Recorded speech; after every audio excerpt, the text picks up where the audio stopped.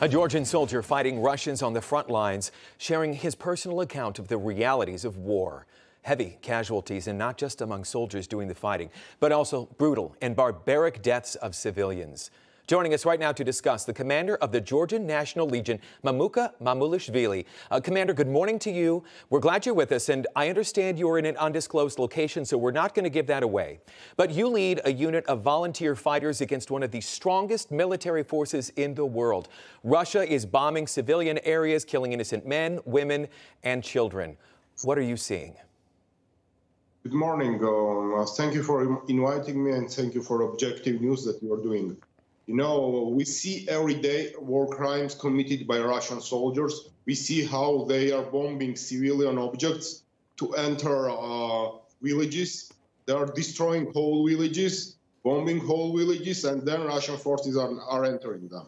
Yeah. So today we're facing the biggest war criminal, Vladimir Putin, destroying uh, Ukraine, right? You know, and we're all watching it live. Uh, we need the help of United States. We, we, we need uh, involvement of everybody, you know, who can help Ukraine today. Yeah. We're losing people every day, and I'm a soldier for 30 years. Right. I have never seen such brutality towards civilians. The UN is reporting 136 civilians, in fact, have died. And 13 of those are children, as devastating and as heartbreaking as that is.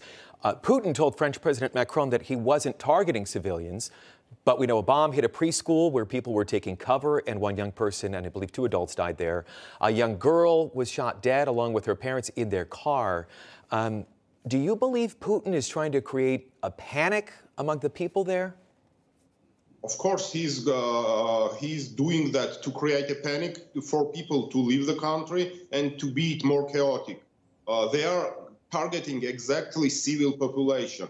They're targeting uh, women and children. Their soldiers are killing children and uh, women in the street. Their tanks are overriding uh, vehicles with the civil population inside. Mm-hmm. Well, help is on the way. Zelensky saying this morning that 16,000 foreign military volunteers have arrived to help in the fight.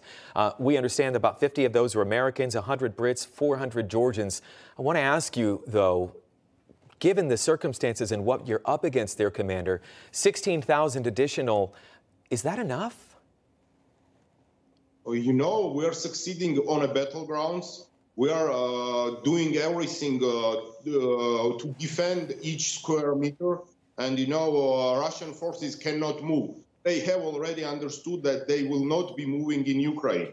The only weak point that we have, it is open sky and they're permanently bombing us. Russian jets and helicopters, uh, they were bombing us about, uh, they were above us about an hour ago.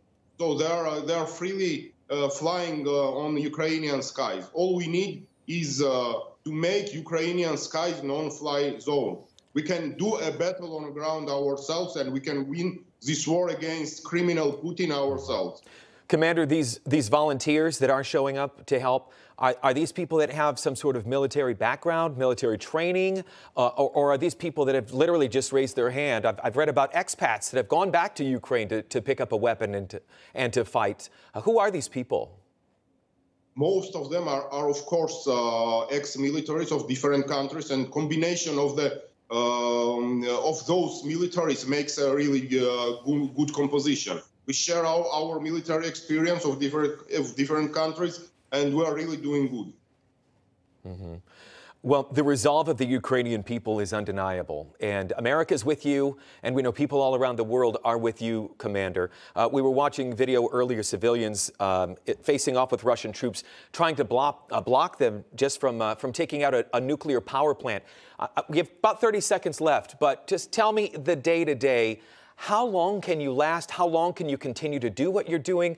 It, it, seems to me that, that Putin, and it seems to everyone as I listen to people much smarter than me talk, uh, say that this is going to be a very long and protracted battle with Russia. You know, we will uh, fight till the death here in Ukraine, all Georgians and all the foreigners who came to fight for Ukraine. But we need to know that our friends are covering our back, mm-hmm. and our friends are covering our skies because. Uh, uh, the only weak point we have is just sky above us, where Russia is dominating now. Mm. We're going to leave it at that. Commander Mamuka Mamulashvili, we appreciate you and your time, and we are pulling for you. Thank you. Hey, I'm Rob Finnerty. Thanks for watching. If you enjoyed this video, please join the conversation in the comments below. Don't forget to subscribe, too. Hit the bell icon to be alerted to breaking news. And remember, there's a whole lot more on Newsmax TV, America's fastest growing cable news network. Newsmax TV, where real news for real people.